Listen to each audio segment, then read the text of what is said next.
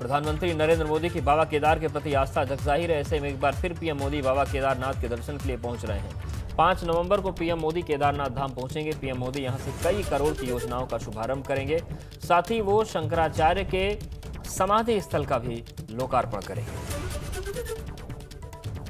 शंकराचार्य समाधि स्थल का लोकार्पण करेंगे। प्रधानमंत्री करोड़ों की योजनाओं का शिलान्यास भी करेंगे और केदारनाथ धाम में पाँच नवंबर को पीएम मोदी पहुँच रहे हैं। कि दीपावली के अगले दिन, एक दिन बाद पहुँचेंगे। केदारनाथ मंदिर को 10 क्विंटल फूलों से सजाया जाएगा।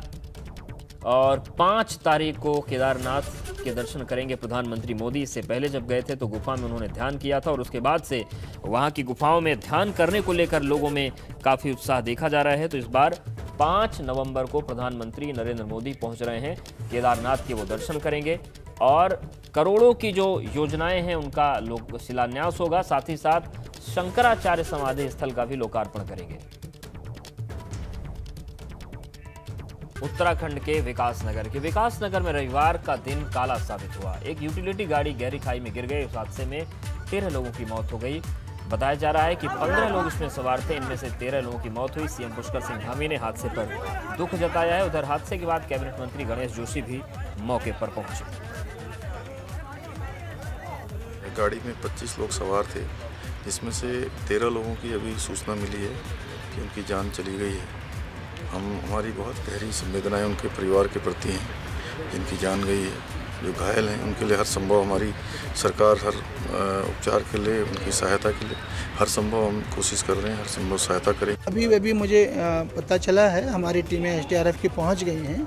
और देखते हैं क्या निकल करके आता है, ज़रूर उस पर हम फोकस करेंगे। देखिए, दिशा निर्देश तो हमारे पहले से भी हैं, पर मुझे लगता है कहीं कहीं कुछ क्षेत्र में ये समस्या है, संभवतः गाड़ियों की कमी हो तो ट्रांसपोर्ट विभाग को भी इस पर देखना होगा, पुलिस को भी देखना होगा।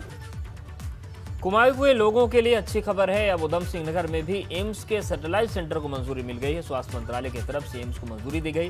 राज्यसभा सांसद अनिल बलूनी ने इसके लिए पीएम मोदी से मांग भी की थी, जिसे केंद्र सरकार ने पूरा कर दिया है। अभी तक उत्तराखंड में ऋषिकेश में ही इकलौता एम्स है, जिसमें मरीजों का दबाव काफ़ी ज़्यादा है, मगर इस बड़े अस्पताल की ज़रूरत कुमाऊ में भी महसूस हो रही थी।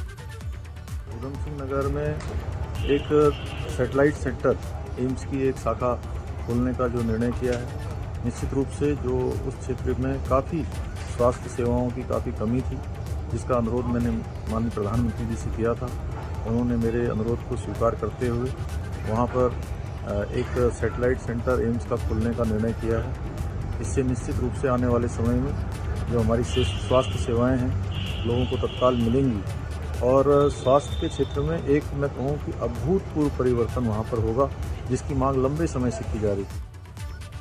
गंगोत्री धाम में कपाट बंद करने की तैयारियाँ शुरू हो गई हैं। पाँच नवंबर को गंगोत्री धाम के कपाट बंद कर दिए जाएँगे। इस दौरान माँ गंगा की डोली शीतकालीन प्रवास मुखबा में छह महीने तक रहेगी। शीतकाल के दौरान वहाँ पर माँ गंगा की पूजा होती है।